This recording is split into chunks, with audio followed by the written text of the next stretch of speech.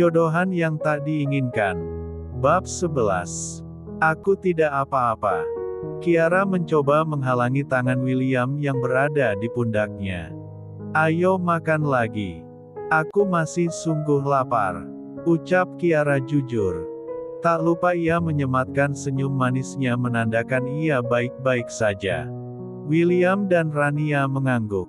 Mereka kembali melanjutkan memakan sate mereka. Terima kasih untuk traktiran yang kesekian kalinya Pak William. Jangan lupa untuk traktiran berikutnya. Seloroh Rania. Saat ini mereka sedang berada di parkiran motor depan sate Pak Ujang. Kiara memukul pelan pundak Rania mendengar ucapan Rania. Kau ini. Ucapnya lirih. Rania membalas dengan terkekeh. Begitu juga dengan William. Tidak masalah. Akhir pekan kita bisa merencanakan makan bersama lagi. Jawab William tersenyum. Senyuman William yang begitu manis sedikit membuat jantung Kiara berdetak lebih cepat. Baiklah. Akhir pekan kita bisa wisata kuliner kalau begitu. Seru Rania bersemangat. Boleh. Tinggal atur saja jam berapa dan di mana. Ucap William membuat Rania bersorak senang. Sedangkan Kiara hanya menggeleng melihat tingkah Rania. William, sepertinya kami sudah harus pulang. Ucap Kiara setelah melirik jam di pergelangan tangannya. Baiklah, aku akan mengantarkanmu pulang. Ucap William. Dan di perjalanan nanti aku akan mengungkapkan perasaanku kepadamu, Ara. Lanjut William dalam hati. Aku akan pulang bersama Rania saja, Will. Seperti biasanya Kiara pasti akan menolak tawaran William untuk mengantarkannya pulang. Lagi pula ia juga tidak mau jika William mengetahui tempat tinggalnya. Untuk kali ini biarkan aku yang mengantarkanmu pulang, Ara. Ucap William dengan memohon. Ada yang ingin aku bicarakan padamu sebentar saja. Lanjutnya, Rania yang menangkap maksud William pun akhirnya angkat bicara. Kau pulang bersama William saja, Kia. Aku akan membawa motormu pulang. Besok pagi aku akan menjemputmu. Ucap Rania seolah mendukung tindakan William. Kiara memberi isyarat mata pada Rania. Dan Rania pun angkat bicara kembali. Sepertinya Kiara tidak enak dengan pemilik kosnya jika diantar pulang oleh laki-laki. Bagaimana jika Kiara Pak William antar ke rumah saya saja? Biar malam ini Kiara menginap di rumah saya. Usul Rania. Bukannya begitu, Kia. Lagi pula aku masih punya pakaian untuk kau kenakan besok untuk bekerja. Tanya Rania ke arah Kiara. Kiara mengangguk. Sepertinya itu memang solusi yang tepat untuk masalahnya saat ini. Toh nanti ia bisa kembali ke apartemen dengan taksi online setelah William mengantarkannya ke rumah Rania. Lagi pula Kiara sungguh tidak enak untuk menolak ajakan William mengingat pria itu begitu baik pada mereka. Mobil William mulai melaju membelah keramaian ibu kota. Di dalam mobil hanya ada keheningan karena Kiara dan William sama-sama diam dalam pemikiran masing-masing. William nampak menarik nafasnya secara perlahan. Entah mengapa keberaniannya mendadak hilang begitu saja ketika berdekatan dengan Kiara. Bahkan kini ia begitu bingung bagaimana mengungkapkan perasaannya. Padahal dulu menurutnya ini adalah pekerjaan mudah. Dan sudah dipastikan jika wanita yang ia utarakan perasaannya akan menerimanya begitu saja. Namun belum tentu dengan Kiara. Wanita yang sangat berbeda dari wanita yang lainnya. William kembali menarik nafasnya begitu dalam. Ia harus mengatakannya sekarang juga. Ketika melewati jalanan yang cukup sepi, William pun menepikan mobilnya di bawah lampu penerangan jalan. Kepala Kiara menoleh ke arah William. Kenapa berhenti? Tanyanya. Ada yang ingin aku bicarakan padamu, Ara. Dan aku rasa, aku sudah tidak bisa lagi mengundurnya. Ucap William dengan pasti. William menghadapkan tubuhnya ke arah Kiara. Perlahan tapi pasti tangannya kini sudah memegang salah satu tangan Kiara yang membuat wanita itu sedikit terkejut. Jangan seperti ini, William. Kiara mencoba melepaskan genggaman tangan William. Namun William menahannya. Sebentar saja, Ara. Ucap William lirih. Akhirnya Kiara membiarkan sebelah tangannya tetap di genggaman William. Ara. Sejak awal bertemu denganmu waktu itu, aku sudah mulai tertarik denganmu. William mengingat kembali pertemuan pertamanya dengan Kiara. Aku kira waktu itu aku hanya sekedar suka kepadamu. Tapi lama-kelamaan aku rasa perasaanku lebih dari sekedar rasa suka. Setelah sekian lama aku merenungi hatiku, akhirnya aku tahu jawabannya. Ara. Sepertinya aku sudah jatuh cinta padamu sejak pertemuan pertama kita. Ucap William dengan tegas menatap dalam mata Kira. Kiara tertegun. Ia tidak pernah menyangka jika selama ini William memendam rasa kepadanya. Walaupun terkadang Kiara sempat berpikir jika perlakuan William kepada lebih dari seorang teman. Cukup lama Kiara terdiam dalam keterkejutannya. Jujur saja ia sudah mulai nyaman pada William. Nyaman dalam artian yang berbeda. Mungkin saat ini terlalu cepat jika aku mengungkapkan niatku padamu, Ara.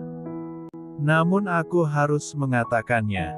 Kiara, maukah kau menjadi pendamping hidupku? Tanya William dengan mantap. Jangan tanyakan detak jantungnya saat ini yang sudah seperti berlari maraton. Dek. Jantung Kiara tak kalah berdetak lebih cepat. Ia tidak menyangka jika William berani melamarnya saat ini. Kiara memejamkan kedua matanya barang sejenak.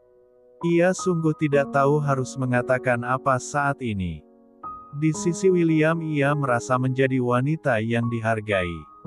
Bahkan terkadang Kiara merasa disayangi oleh pria itu. Dan itu semua tidak bisa ia dapatkan dari suaminya. Gary. Namun ada hal yang mengganjal di hatinya. Saat ini, La tidak tahu perasaan apa yang ia rasakan pada William. Ara. Suara William terdengar mendayu di telinganya. Kiara mengangkat wajahnya yang ia tundukkan. Sepertinya kau salah menilai perasaanmu, William. Aku hanya seorang OB. Derajatku sangatlah jauh denganmu. Kehidupan kita jauh berbeda. Tutur Kiara mengingatkan. Aku bahkan tidak memperdulikan itu semua, Ara. Aku tidak pernah menilai seseorang dari derajatnya. Aku sungguh mencintaimu tulus dari dalam hatiku. Tangan William semakin erat menggenggam tangan Kiara. Percayalah. Lanjutnya meyakinkan. Bagaimana dengan keluargamu? Kiara kembali mencoba meruntuhkan pertahanan William. Ibu jari William kini berpindah mengelus punggung tangan Kiara yang membuat tubuh wanita itu berdesir. Ibuku juga berasal dari keluarga sederhana. Dan keluarga ayahku menerimanya. Tidak ada istilah kaya dan miskin di keluargaku, Ara. Menurut keluargaku kita itu sama. Semua makhluk memiliki derajat yang sama di mata Tuhan. Bagaimana kita yang hanya hambanya berani membedakan derajat dan status yang hanya sementara di bumi ini? William kembali menjelaskan agar Kiara merasa yakin. Bahkan sejak lama ibuku sudah menyuruhku untuk mencari wanita dari kalangan keluarga sederhana. Lanjutnya, tanpa disadari air mata Kiara mengalir di kedua pipinya. Ia sangat kagum dengan sosok lelaki seperti William yang pasti banyak dikagumi setiap wanita. Namun saat ini Kiara sadar akan statusnya. Ia masih berstatus sebagai istri orang. Istri dari sahabat baik William itu sendiri. Dan ia tidak mungkin menjadi wanita yang ada di antara Gary dan William. Kiara menghela nafasnya yang kian memberat. Ia tidak ingin menyakiti William. Namun ia harus mematahkan hati pria itu saat ini juga karena ia tidak ingin William terlalu jauh berharap padanya. Maafkan aku, William. Maafkan aku, William. Air mata Kiara semakin mengalir begitu deras. Mencoba menarik tangannya dari genggaman tangan William. Namun lelaki itu menahannya. Kiara terisak. Maafkan aku. Maaf, untuk saat ini aku tidak bisa membalas perasaanmu. Dek, jantung William terasa bagai tertusuk duri yang begitu tajam.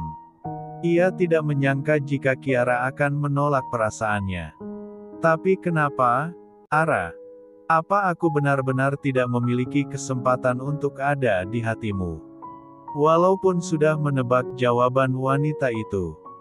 Namun William tetap merasa sesak di dadanya ketika mendengar penolakan Kiara. Aku tidak bisa memberikan alasannya untuk saat ini, William. Lirih Kiara. Aku membutuhkan sebuah alasan untuk kata penolakanmu, Ara. Pinta William. Tidak untuk saat ini, William. Suatu saat kau pasti akan mengerti. Kiara tertunduk bersamaan dengan air matanya yang semakin deras mengalir. William menarik genggaman tangannya dari tangan Kiara. Kemudian mengusap kasar wajahnya. Apa kurangnya aku, Ara? Coba katakan di mana kurangnya aku. Aku akan mencoba merubahnya untukmu. Aku sungguh mencintaimu. Gumam William begitu lirih. Ucapan William begitu meniyat hati Kiara. Jujur saja tidak ada satupun kekurangan pada pria itu. William begitu baik padanya. Bahkan juga pada Rania. Ia memang sudah merasa nyaman ketika berada di dekat William. Namun perasaan nyaman itu tidak lebih dari nyaman dari sebuah pertemanan. Seperti yang ia rasakan pada Rania. William tidak tahu, jika selama ini hatinya sudah ia kunci rapat-rapat untuk pria lain. Selama ini Kiara hanya mencoba untuk belajar mencintai orang yang seharusnya ia cintai. Kau tidak memiliki kekurangan satu apa pun. Di sini akulah yang sangat begitu banyak kekurangan. Aku yang tidak pantas untukmu, William. Tangan William terulur menghapus air mata yang masih mengalir di kedua pipi Kiara. Hatinya merasa sakit ketika melihat Kiara menangis karena dirinya. Maafkan aku. Kiara mendongak. Kini matanya bersitatap dengan mata tajam milik William. Jangan menangis.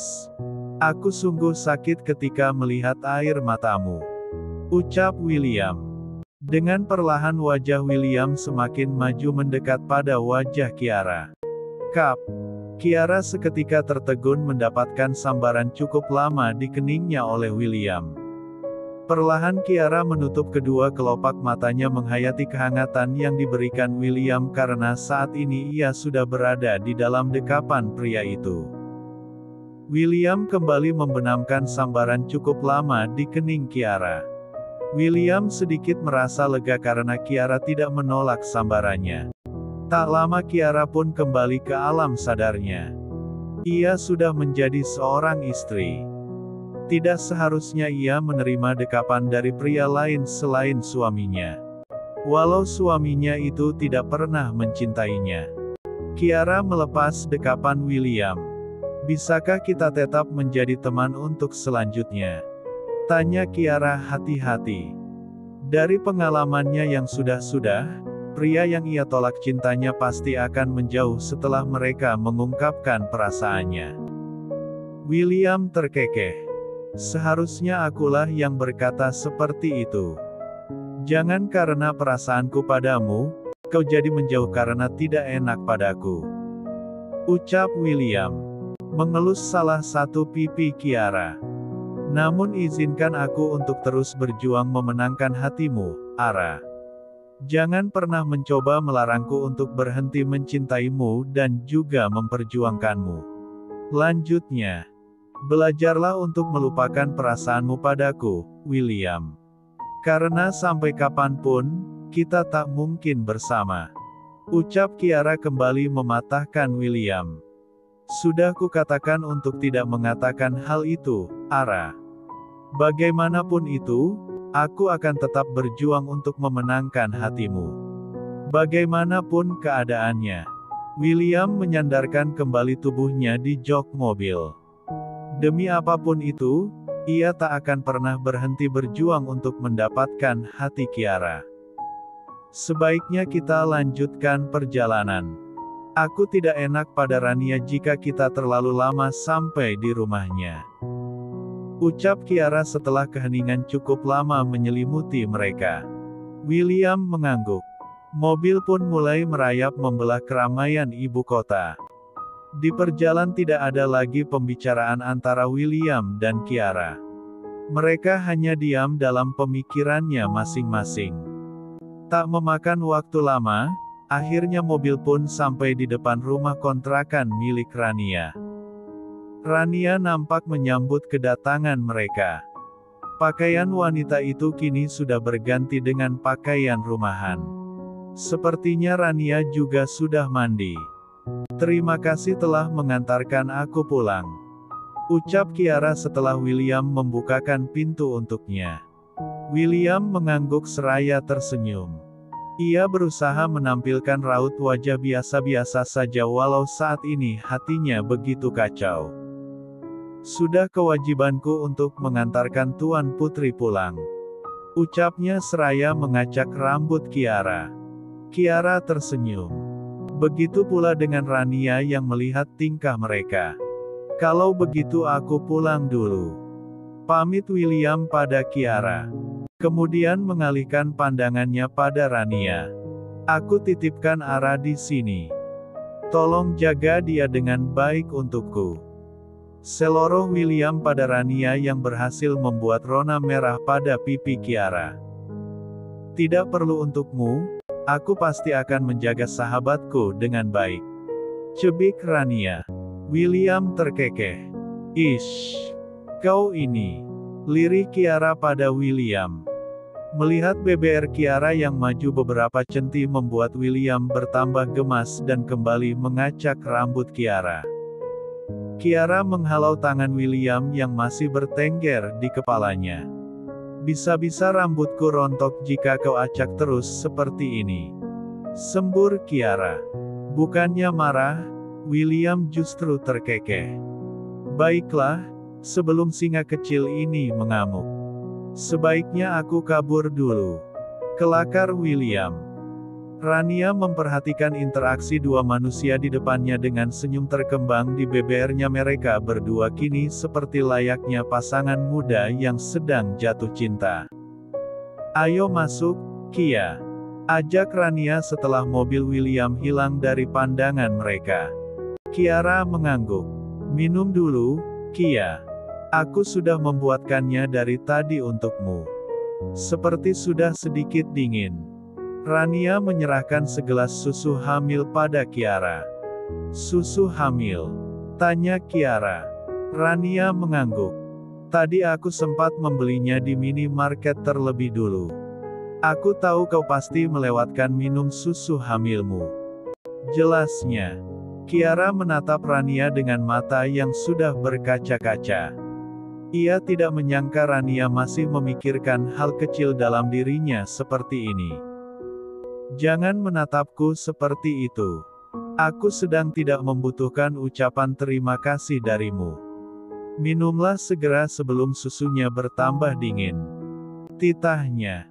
Kiara menyambar gelas berisi susu itu lalu meminumnya hingga tandas.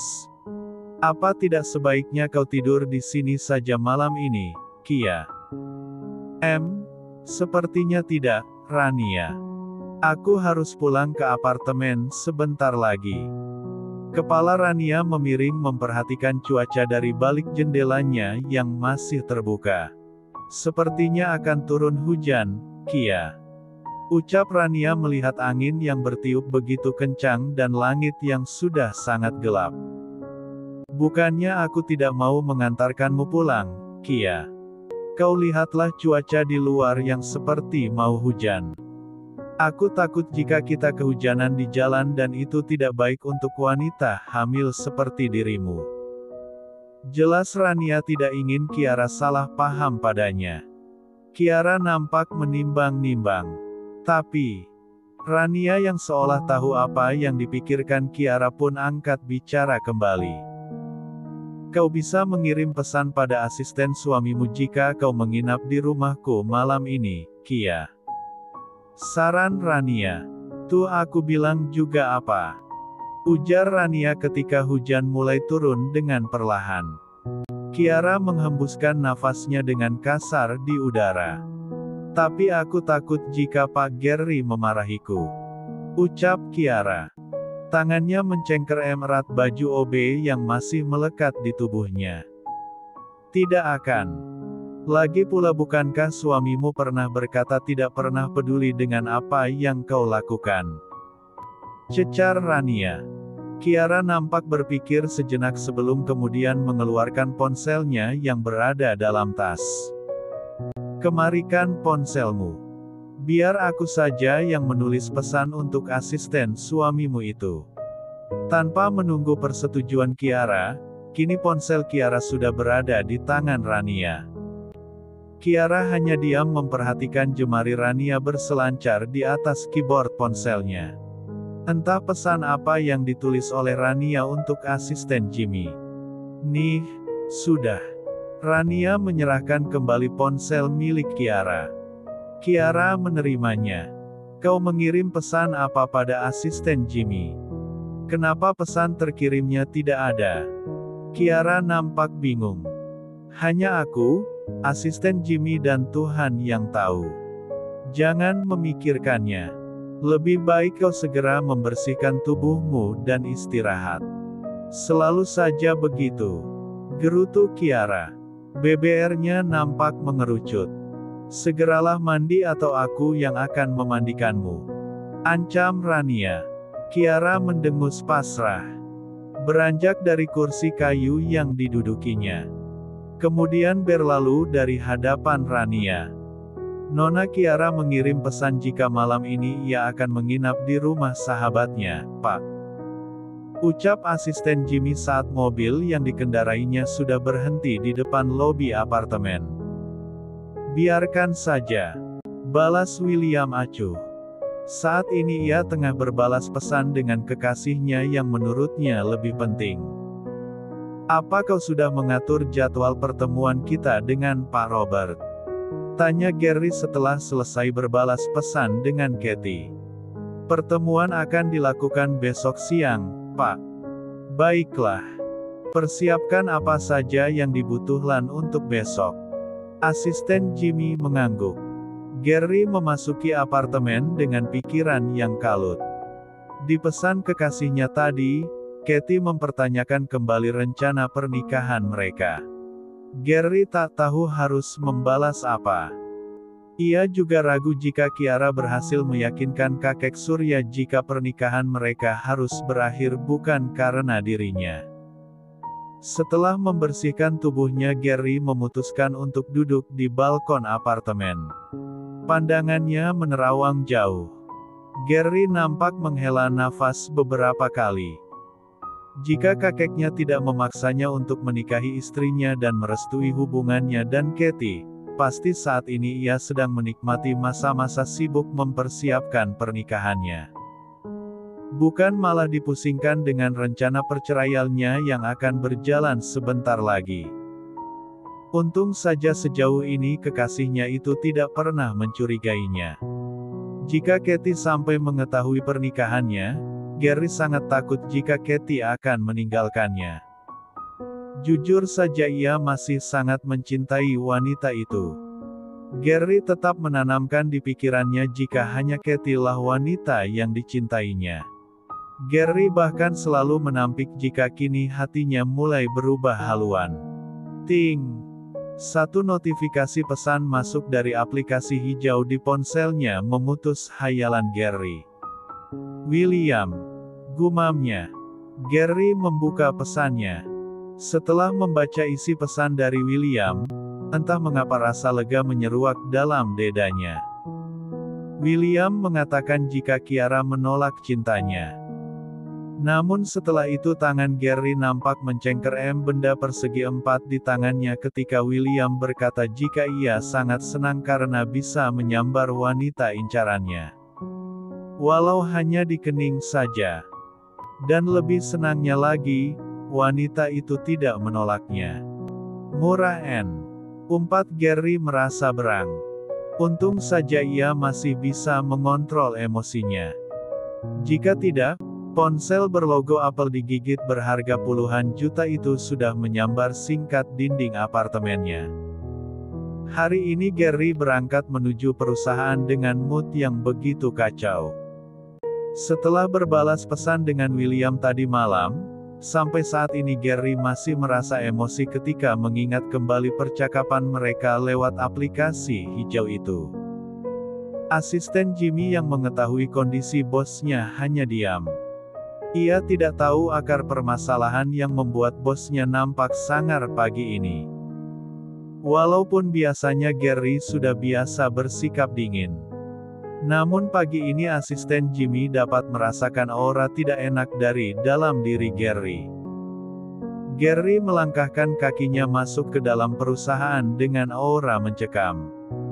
Beberapa karyawan yang lewat berpapasan dengannya nampak memberi salam namun tak dihiraukannya sama sekali. Bahkan senyum tipis di bernya pun nampak lenyap tertelan aura gelapnya. Melihat Gary yang tidak membalas sapaan para karyawan, asisten Jimmy pun mengambil alih dengan menganggukkan kepalanya pada setiap karyawan yang menyapa mereka. Selamat pagi Pak Gary, asisten Jimmy. Ucap karyawan yang sedang mengantri memasuki lift. Ketika melihat presdir mereka akan masuk ke dalam lift khusus. Kiara dan Rania yang sedang ikut mengantri masuk ke dalam lift mengalihkan pandangan mereka ke arah Gary dan asisten Jimmy. Sejenak mata mereka bertemu pandang dengan mata tajam milik Gary. Kiara seketika tertunduk ketika melihat pandangan Gary yang begitu tajam hingga mampu mengnus jantungnya. Kenapa dia menatapku seperti itu? Batin Kiara begedik ngeri. Ia sungguh takut dengan pandangan suaminya itu. Ayo, Kia. Rania menarik lembut tangan Kiara melihat Kiara yang masih diam pada posisinya sedangkan yang lain sedang menunggu mereka masuk ke dalam lift. Di dalam lift Kiara nampak diam. Bahkan ia tidak memperdulikan rekan sesama opnya yang kini tengah menggunjingnya secara terang-terangan. Sedangkan Rania, tentu saja ia sudah memberikan aura pembunuh pada mereka. Sehingga tiga wanita yang sedang menggunjing Kiara langsung mengunci mulut mereka. Kau kenapa, Kia? Tanya Rania ketika mereka sedang memasukkan tas di dalam loker. Aku tidak apa-apa, Rania. Jawab Kiara mencoba tersenyum. Kau sedang tidak memikirkan suami kejmu itu, bukan? Ti tidak. Aku tidak sedang memikirkannya. Lalu, aku sungguh tidak apa-apa. Ayo kita mulai bekerja. Jangan sampai Bu Retno melihat kita masih berdiam diri di sini. Ajak Kiara menarik tangan Rania keluar dari dalam ruangan.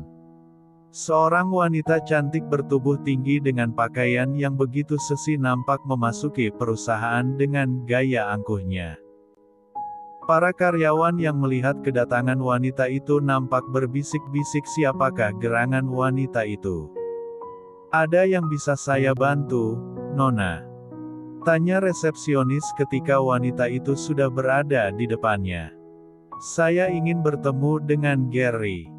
Ucapnya masih dengan begitu angkuh. Resepsionis nampak bingung melihat tingkah wanita itu. Apalagi ia tidak menggunakan embel-embel pak ketika menyebut nama presdir perusahaan mereka. Apakah Anda sudah membuat janji sebelumnya, Nona? Wanita itu nampak menggeber meja resepsionis membuat tiga orang resepsionis yang berada di depannya terlonjak kaget. Apakah saya harus membuat janji terlebih dahulu untuk menemui calon suami saya sendiri? Ucapnya begitu keras. Bahkan kini karyawan yang sedang berlalu lalang di lobi seketika menatap pada wanita itu. Katakan pada Gary jika Kathy kekasihnya ingin bertemu. Titahnya menatap tajam resepsionis. Para resepsionis nampak menimbang-nimbang antara percaya atau tidak dengan ucapan wanita di depan mereka. Jika benar wanita itu adalah calon istri presdir mereka maka tamatlah riwayat mereka jika tidak memberikan izin untuk wanita itu menemui Gary. Maaf, Nona. Tapi saat ini Pak Gary sedang tidak bisa ditemui. Karena saat ini Pak Gary sedang melakukan rapat dengan rekan bisnisnya.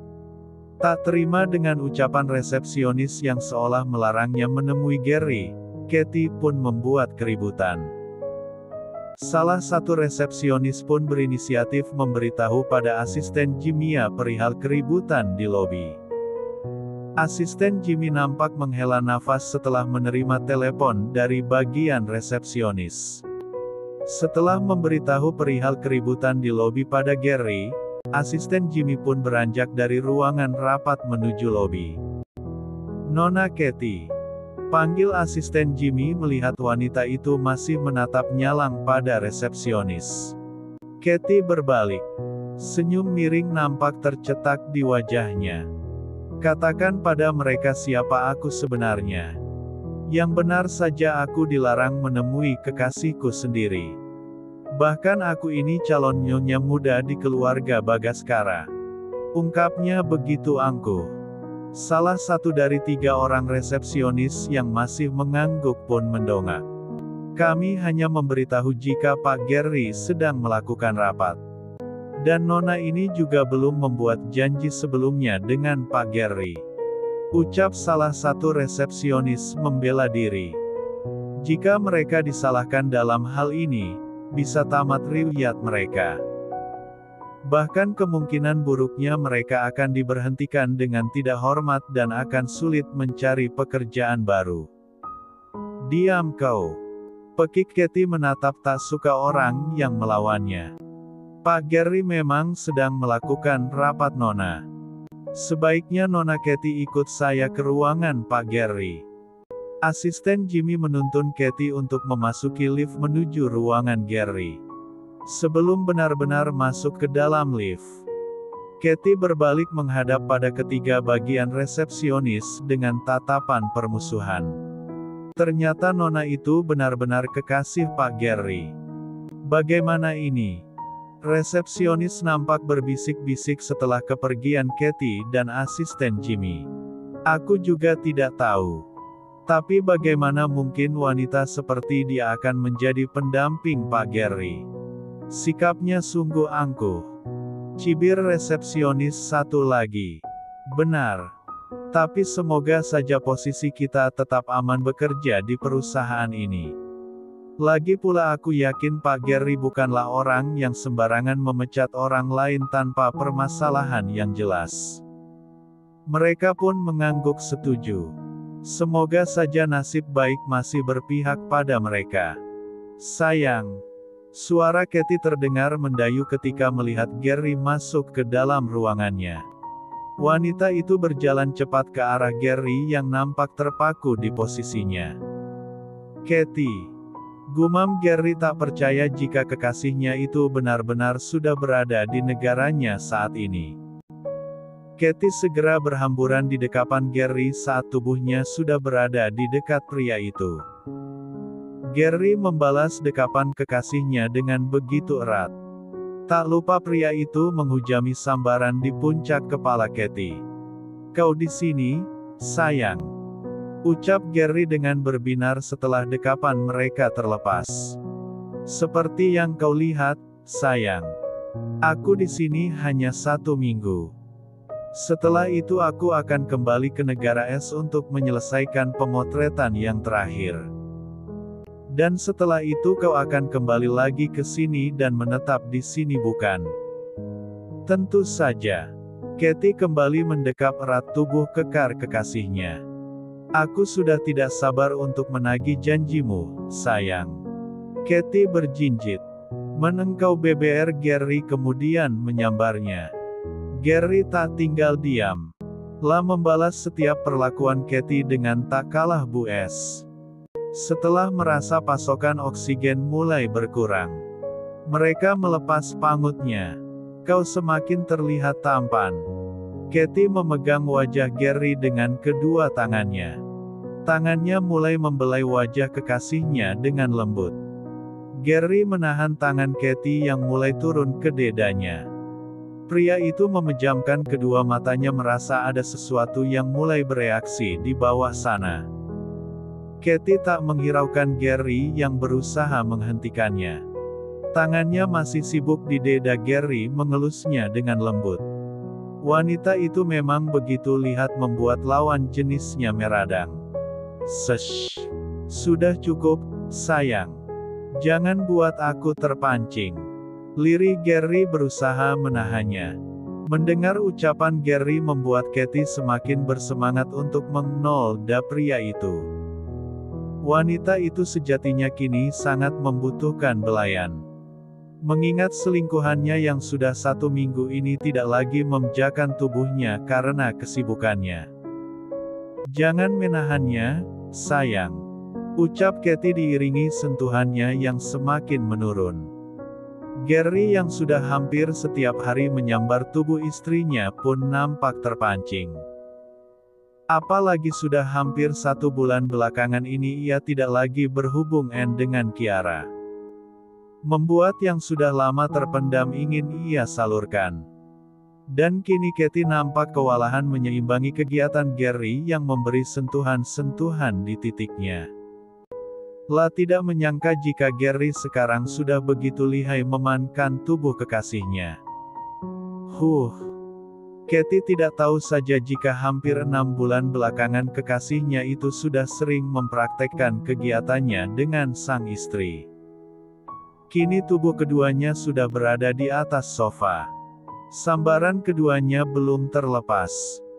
Bahkan sambaran mereka semakin manja tangan Katy kini mulai membuk satu persatu buah kancing ke meja Gary. Gary membiarkan apa yang dilakukan kekasihnya itu. Saat ini mengalahkan akal sehatnya. Namun ketika satu buah kancing lagi yang akan terlepas. Ingatan Gary tiba-tiba melayang pada wajah sendu istrinya. Bayangan istrinya yang selalu mengeluarkan air mata dan rintian setiap kali ia sentuh Gary menghentikan aktivitasnya yang masih menyambar lembut BBR kekasihnya. Bahkan ia menahan tangan Katy yang sebentar lagi berhasil melepas kemejanya.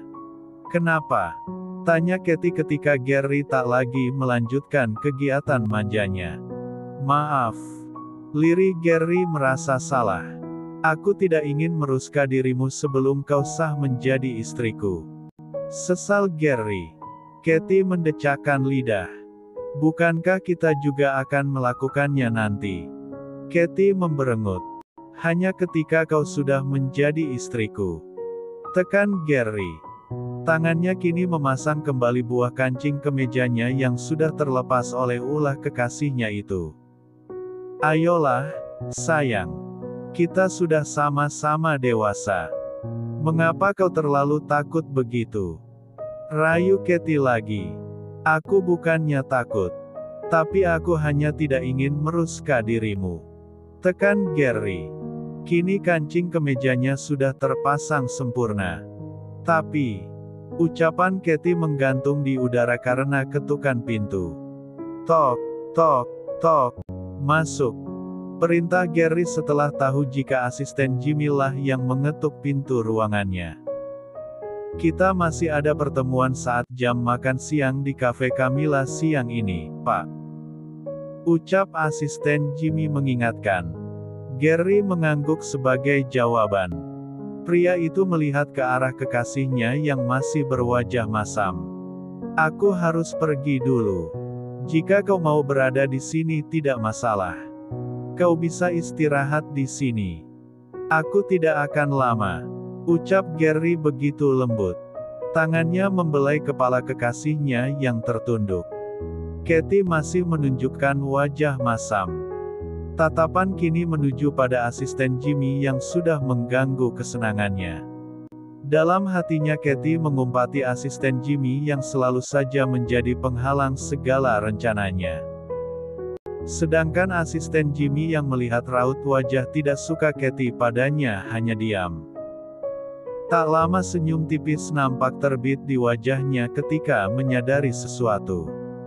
Apalagi melihat baju yang dikenakan Katie nampak kusut dan rambutnya sedikit berantakan. Lagi-lagi ia bersyukur menjadi penghalang kegiatan yang akan dilakukan bosnya.